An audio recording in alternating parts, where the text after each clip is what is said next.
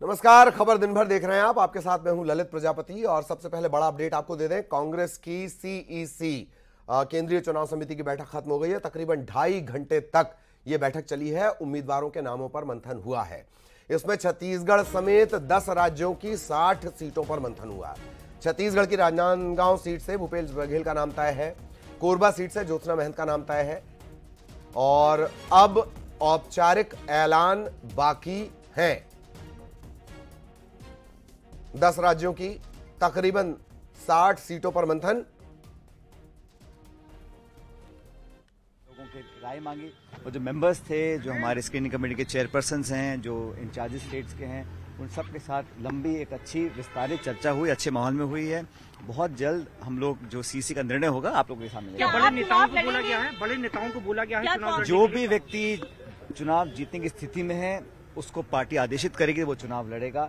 अंतिम निर्णय सीईसी लेगी और मुझे लगता है बहुत जल्द स्पष्ट स्पष्ट एक वक्तव्य सीईसी का भी। सर आज ग्यारह सीटों पे हो गया छत्तीसगढ़ की। पूरे जिन जिन स्टेट्स का डिस्कशन था सभी सीट्स पर डिस्कशन हुआ है और मंथन किया गया है। जैसे मैंने कहा एक अच्छा सार्थक पॉजिटिव एटमोसफेयर में डिस्कशन हुआ और सब पहलुओं पर हमने अपना ध्यान केंद्रित किया। खरगे साहब आदरणीय सोनिया गांधी जी सभी सीसी के मेंबर्स हम सब लोगों ने एक लंबी चर्चा करी है। जैसे और शिवम प्रताप सिंह दिल्ली से इस वक्त हमारे साथ जुड़े हुए हैं। शिवम, सबसे पहला तो इस बैठक को लेकर अपडेट, फिर छत्तीसगढ़ से जुड़े सवाल पर मैं आऊँगा। बैठक को लेकर क्या कुछ अपडेट? सचिन पायलट मीडिया से चर्चा कर रहे थे। जी। बिल्कुल, कांग्रेस की पहली केंद्रीय चुनाव समिति की आज जो बैठक हुई, वो ढाई घंटे चली। दस राज्यों की सात सीटों पर चर्चा हुई है।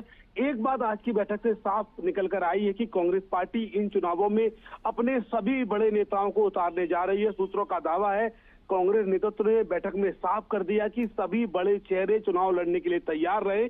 2024 लोकसभा चुनाव कांग्रेस पार्टी के लिए करो या मरो का चुनाव है। ऐसे में जो बड़े नेता लोकसभा नहीं लड़ना चाहते हैं, वो आला कमान के रडार पर आ जाएँगे। यही एक वजह है कि पहली लिस्ट में राहुल गांधी का वायनाड से नाम होगा। छत्तीसगढ़ के पूर्व मुख्यमंत्री भूपेश बघेल का राजनाथ गाँव से होगा। ज्योत्सना महंत कोरबा से चुनाव लड़ेंगी, ताम्रध्वज साहू दुर्ग से लड़ेंगे शिव दहरिया जहांगीर चापा से लड़ेंगे। मणिपुर के पूर्व सीएम ओकराम इबोबू को टिकट दिया गया है। यानी कि पार्टी ने ये साफ़ कर दिया है कि ये चुनाव बहुत अहम है ऐसे में जो राज्य के बड़े चेहरे हैं, जिनके लड़ने सिर्फ़ एक सीट पर नहीं, बल्कि पूरे प्रदेश में या एक संभाग में पॉजिटिव इम्पैक्ट जाएगा ऐसे नेताओं को पार्टी लड़ाने जा रही है। यही एक बड़ी बड़ी वजह है कि आज की जो सीसी हुई है, उसमें जिन जिन राज्यों की चर्चा हुई, वहाँ के जो भी बड़े चेहरे थे पार्टी ने उन्हें आगे आने के लिए कहा है। निश्चित तौर पर बड़ी खबर यह है कि अगर भूपेश बघेल जैसे नाम छत्तीसगढ़ से चुनाव लड़ते हैं तो तमाम अन्य राज्यों में जो पार्टी के स्टेट प्रेसिडेंट है, पूर्व सीएम है, या जो भी बड़े नाम है, उनको लोकसभा चुनाव लड़ना पड़ेगा। और यही एक संदेश आज सीसी के दौरान आला कमान ने दिया है। बड़ी बात यह है कि पहली लिस्ट आज कल सुबह से कल शाम के बीच आने की चर्चाएँ है। इस तरीके की सूत्रों का दावा है कि जिन जिन सीटों पर मोहर लग गई है, उनको लेकर कल ऐलान हो सकता है। और बड़ी खबर यह है कि छत्तीसगढ़ के पूर्व मुख्यमंत्री भूपेश बघेल, राजनाथ गाँव से, राहुल गांधी वायनाड से, ज्योत्सना महंत कोरबा से, ओकराम एबीबी मणिपुर से चुनाव लड़ सकते हैं। राजधानी दिल्ली की बात करें, कांग्रेस यार तीन सीटों पर चुनाव लड़ रही है, लेकिन आज चर्चा होने के बावजूद तय नहीं हो पाया उम्मीदवार कौन होगा। यहाँ पर पैनल में नाम दिए गए थे उस पर सहमति नहीं बन पाई। तेलंगाना की बात करें कर्नाटक की बात करें तो वहाँ की कई सीटों पर सहमति बनी है। शशि थरूर अपनी सीट कंटिन्यू करेंगे और न्यूज़ एटीन ने ये आज ही सुबह बताया था कि जो सिटिंग सांसद हैं उनको लगभग हर जगह दोबारा मौका दिया जाएगा और बाकी बड़े नेताओं को लड़ाया जाएगा। देखना ये होगा कि कांग्रेस की जो पहली लिस्ट आती है उसमें कितने उम्मीदवार होते हैं। चलिए चलिए। बहुत बहुत शुक्रिया आपका, शिवम, इस तमाम जानकारी के लिए। तो कल का इंतज़ार और और फिर संभवतः सिर्फ़ जो ऐलान बाकी है, जो नाम तय हो गए हैं, उनका ऐलान बाकी रहेगा।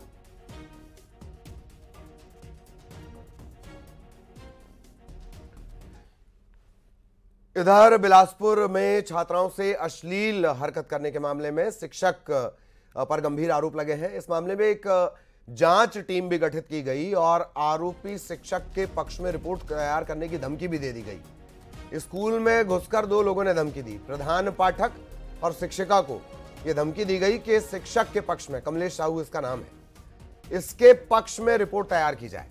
अब पीड़ित शिक्षकों ने जिला शिक्षा अधिकारी को पत्र लिखा है, सुरक्षा की मांग की है।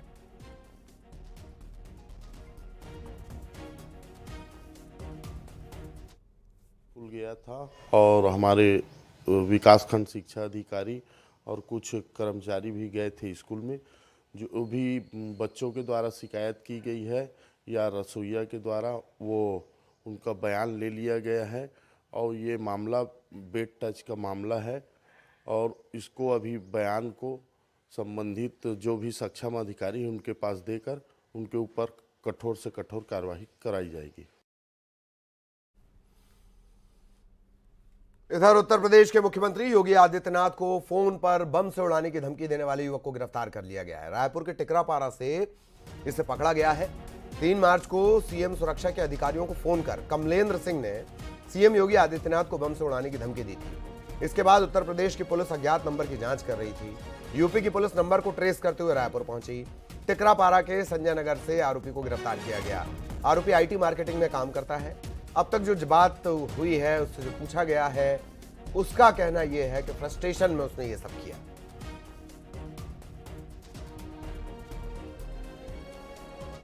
है टिकरापारा, रायपुर का।